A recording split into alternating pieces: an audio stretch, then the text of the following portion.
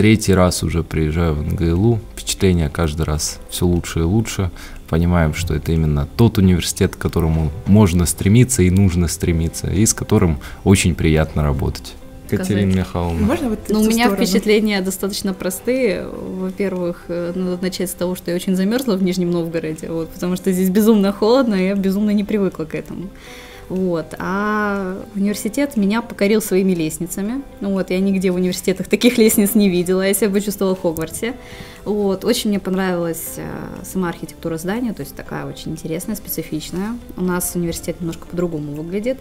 Ну, в принципе, впечатление, господи, как бы не потеряться, и вау, как здесь красиво. Как-то так.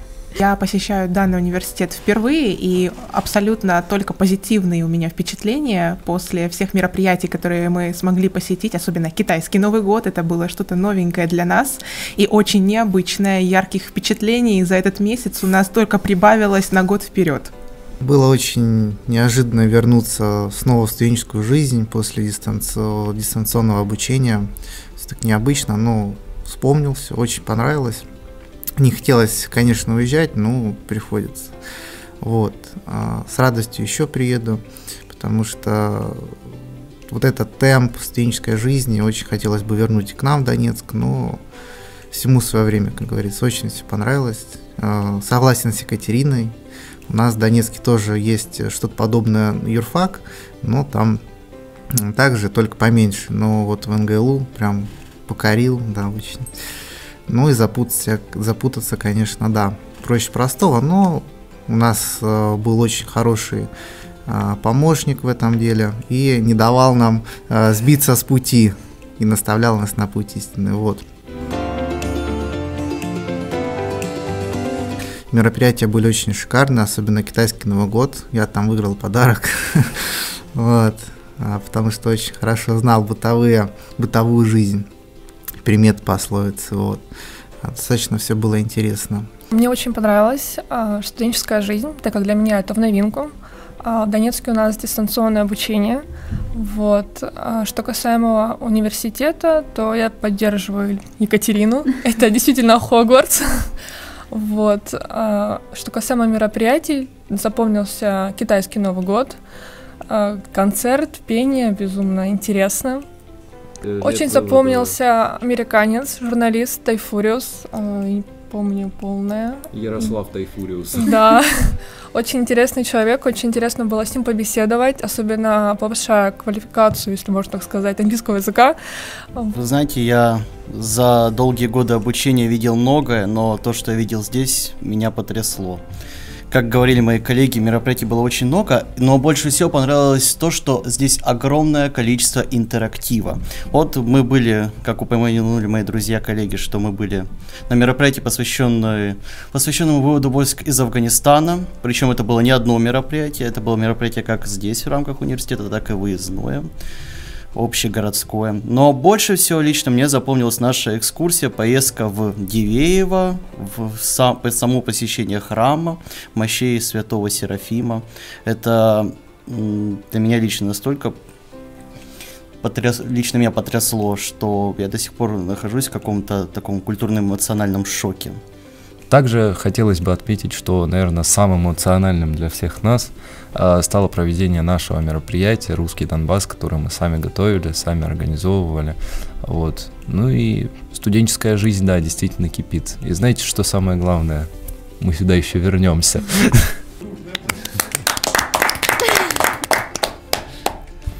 Мы также успели в период этого месяца посетить филармонию, вот, э, послушать э, Чайковского вот, в исполнении прекраснейшего просто оркестра.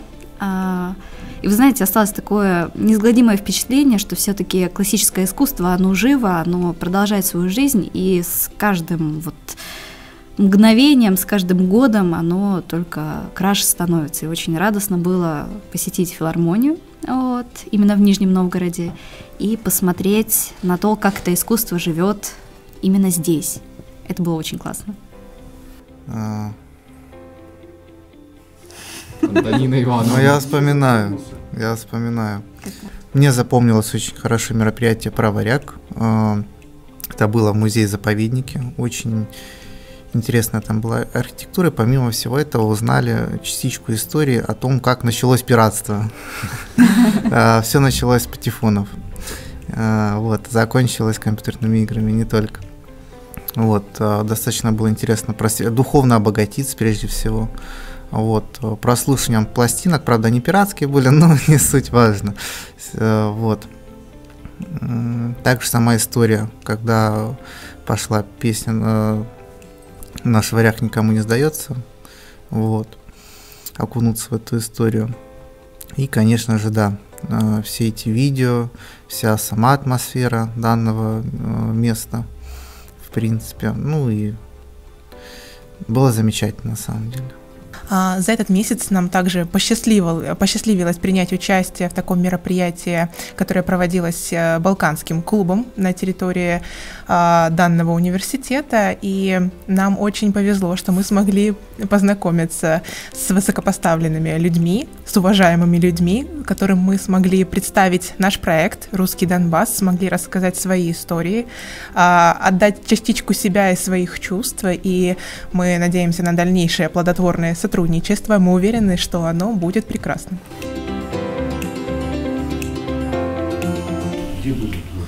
Да, да везде, везде. Мы действительно были везде. Третий раз, повторяюсь, посетил Нижний. Э, до этого не удавалось так детально рассмотреть город, но в этот раз мы, мне кажется, посмотрели досконально все, абсолютно, начиная от театров, заканчивая колесом обозрения, канатной дорогой, Потемкинской лестницей, разве что не покатались на пароходе, но это из-за погодных условий, зима все-таки. Вот. Больше всего впечатлила сама архитектура города, она каждый раз чем-то удивляет новым, то есть девятиэтажки, а потом хопа Кремль, исторические здания, но больше всего мне лично, наверное, запомнился музей-заповедник. Это я такого еще не видел. Посетил маленький Нижегородский Версаль. Ну, у меня из восхищения вызвала канатная дорога, потому что я, я на ней просто кричала. Я э, альпинист с опытом, который очень сильно боится высоты. И поэтому в какой-то момент, когда вот эта вот маленькая таблеточка приехала, и нам говорят, садитесь в нее, я говорю, господи, мы все умрем. Вот, это, наверное, самое яркое впечатление. А так, да, действительно, восхитительная архитектура, а, невероятный сам по себе город, строение города, улочки вот эти вот, э, которые пересекаются, настолько гармонично смотрится вот, это, вот этот синтез современного города с историческим достоянием. Очень радостно, очень приятно видеть то, что Нижний Новгород сохранил свою историю и несет ее дальше, показывая свою историю как гордость. Вот, и мы гордимся Нижним Новгородом вместе с вами. Скажем так, э, знаете, как в играх Э, карта зачищена на 100%, так и Нижний Новгород бывали мы везде. Вот, да, канатная дорога, это, конечно, было весело, интересно. Я говорю, Катя, выйди отсюда, ты мешаешь. Вот, но она не вышла, осталась. В Нижнем Новгороде я уже во второй раз. И в первый раз, к сожалению, удалось посмотреть Нижний Новгород, но не досконально. В этот раз, э, по возможности, когда было свободное время, старались не сидеть в комнате, а выходить и просто гулять по улицам. И действительно удивляет то, что в Нижнем Новгороде сочетается архитектура как и древнего города, исторические значимые объекты, так и современная архитектура. И она так гармонично переплетается, что это очень приятно глазу. Э, память на телефонах начала заканчиваться, потому что огромное количество фотографий с прекрасными видами видами, с прекрасными архитектурными строениями. А, я являюсь главным фотографом а, нашего студенческого клуба «Полис». А, и когда первый раз я приехала в Нижний Новгород, мне запомнилась ярмарка, так как мы ее проезжали. И я дала себе слово, что я до нее дойду. Пешком. Вот. Пешком, да, это было пешком. Мы потратили, наверное, три часа, обойдя весь Кремль. Спустились мы к ярмарке, я ее перефоткала везде, только где можно, с любых ракурсов. Вот. Впечатляет действительно архитектура. Так что в ближайшие, наверное, три месяца мы будем выкладывать в нашем канале Telegram э, вашу архитектуру, все события, которые были. Смотрите на свой город с нового ракурса, с ракурса, которого видим мы, как туристы, как гости. Я тоже два раза был в Нижнем Новгороде. Я видел его зимой, я видел его и летом. Знаете, у меня есть э, с чем сравнить. Возможно, это предпочтение каждого, но для меня лично Нижний Новгород красивее именно летом, потому что ты видишь конкретно всю красоту и в архитектурном плане, и в историческом, и в художественном, потому что не мешает снег, не мешает погода, ты можешь пройтись куда угодно, посмотреть все, что ты хочешь. И вот особенно увидеть этот контраст, когда ты находишься на одном берегу в историческом квартале, а переезжая на соседний, ты словно попадаешь к нам домой.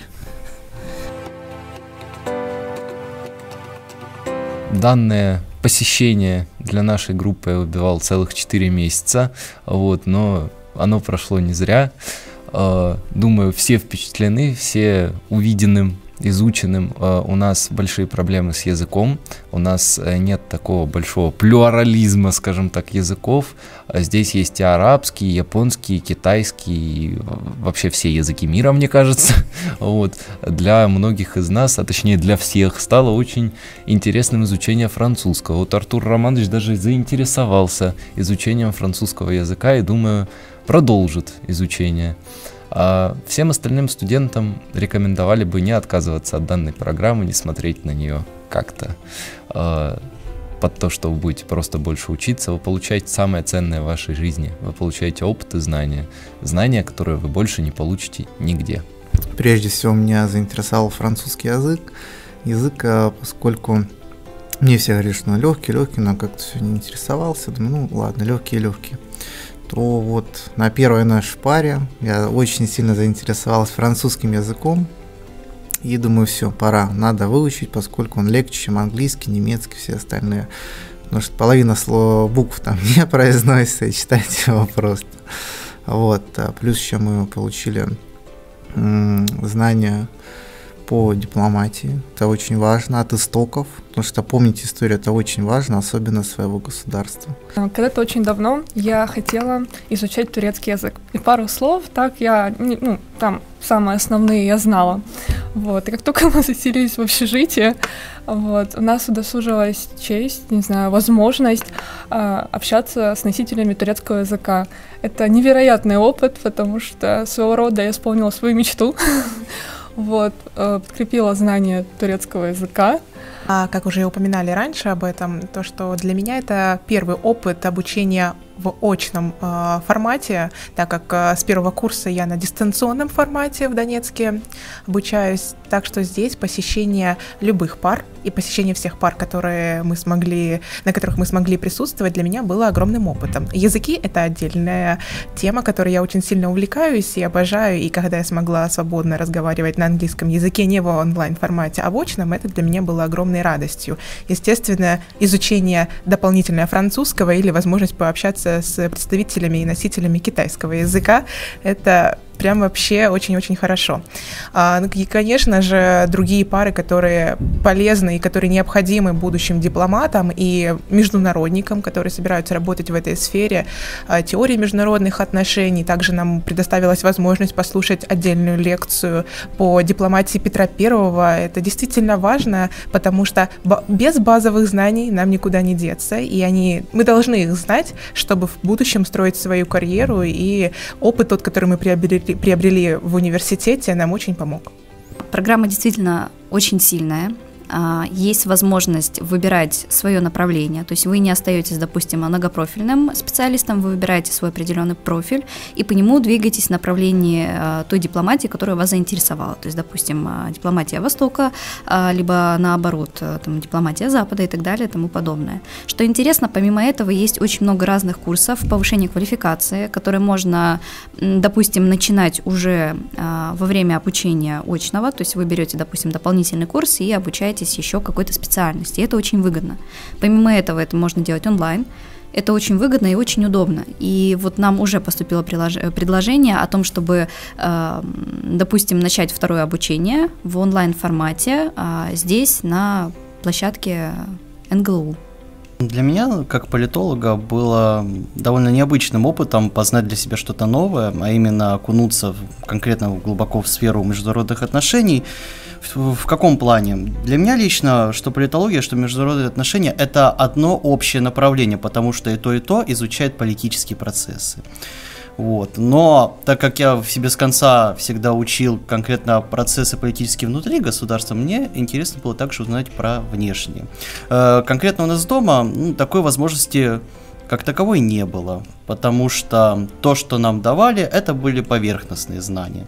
А вот э, э, побыв здесь, пройдя эту программу, пообучаясь больше иностранным языкам, э, этикету дипломатическому, другим различным международным дисциплинам, я понял, что это действительно так, что эти две, эти две специальности неразделимое целое. Поэтому большое спасибо моим ребятам и большое спасибо руководству университета, что дали такую возможность. Я лично рад этому. Отдельную благодарность хотелось бы выразить Светлане Анатольевне Колобовой, декану школы международных отношений и мировой политики, за возможность приехать нам с ребятами, обучаться здесь.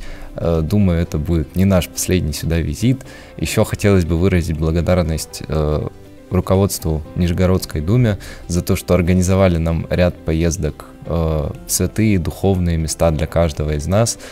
Благодарность э, сербскому балканскому клубу за возможность посетить их мероприятия, познакомиться с ними и наладить дальнейшее сотрудничество.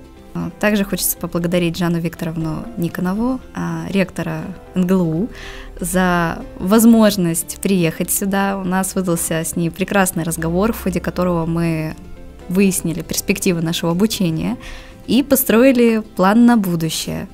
Также хочется поблагодарить свой университет за то, что в конечном итоге все-таки разрешили нам сюда приехать спустя 4 месяца работы.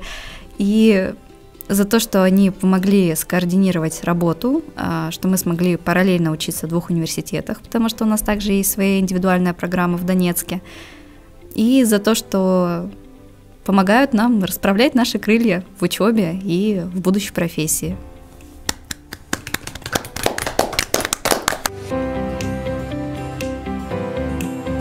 Хотелось бы пожелать студентам э, НГЛУ имени Добролюбова и остальным студентам по всей Российской Федерации, которые участвуют в программе академической мобильности. Не стесняйтесь, приезжайте по обмену опытом, приобретете новые знания, получите незабываемые впечатления э, и огромный опыт. Желаю всем студентам э, университета Добролюбова, будьте храбрыми, сильными, никогда не сдавайтесь на пути к своей цели, добивайтесь, будьте сильными. Мне хочется пожелать всем студентам, не только студентам Добролюбова, работайте над собой, работайте над тем, чтобы получать знания, никогда не останавливайтесь э, в поиске новых знаний, потому что учиться — это самое важное. Только глупый человек думает, что он знает все, и только умный сомневается в своих знаниях и ищет новые истины и новые догмы. Катя мне говорила, что все знает ответ и желание, в принципе, пожелания к студентам НГЛУ, ко всем студентам, в принципе, никогда ничего не бойтесь, ищите возможности, просто ройте везде и пытайтесь найти то, что вам сможет помочь в вашем дальнейшем будущем. И не, не пугайтесь, когда вам что-то кажется невозможным. А, в дальнейшем а, у вас будут огромные перспективы, и Иногда стоит э, переступить через себя, переступить через свои страхи, чтобы добиться чего-то большего и достичь своих целей. Ну, а так как уже все сказали за меня, мне остается пожелать только счастья, здоровья, но, но также есть наставление. Действительно, не оставляйте, не, остав, не останавливайтесь на достигнутом, потому что остановка это смерть, а движение и прогресс это жизнь, а мы за жизнь, чего я вам также и желаю. И хочу еще добавить, говорит Светлана Анатольевна Колобова, все должно быть по протоколу.